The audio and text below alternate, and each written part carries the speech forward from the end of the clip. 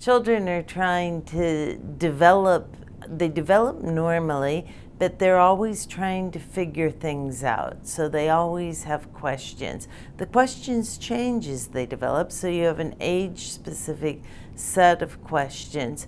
But what societies, adults can do to really help children's brain development, even when there's upheaval in the society, is to be cognizant that children are trying to grapple with these issues and to help them grapple with them. So to pay attention to what the children are thinking, to help them come up with explanations, to see what their needs are and try to fulfill their needs. Sometimes the adult society can't do that. It's such an upheaval that you can't give them everything they need. But it makes a big difference if the child knows that somebody cares and is trying to help them. It's when they're neglected and it's not evident to them that anybody's trying to help them that they're really devastating effects.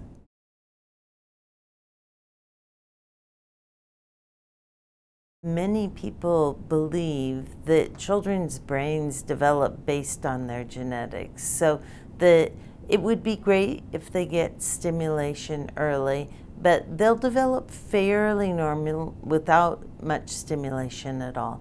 And that's completely wrong. They are tuned to develop based on the environment that they're exposed to from the very beginning. And so environments having an effect whether the adults around them are knowledgeable that the environment is having an effect or not they are growing up differently and their brain is forming differently based on the environment they're exposed to.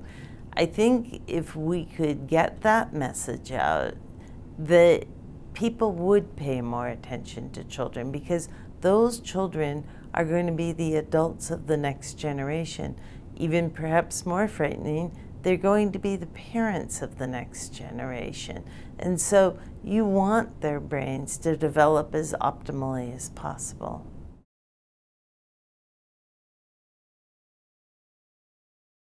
What we're trying to do is inform the whole community about the importance of early brain development.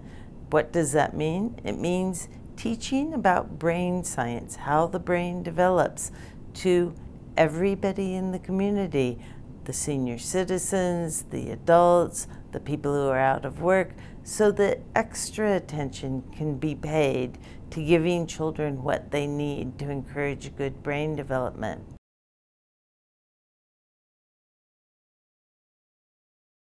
If we want to translate that to a situation where there's massive upheaval, then people are in a state of kind of extreme angst because they're worried about will they survive. It's unlikely that you're going to be able to teach them about children's brain development right at that time. So you have to be out ahead of this. And I think that's a big task for UNICEF because it means on a world basis, you want to put the message out earlier, ahead of the conflict, and you want to get populations of people to really understand that children's brain development is a critical thing, that they need attention, they need stimulation, and that they need adequate nutrition.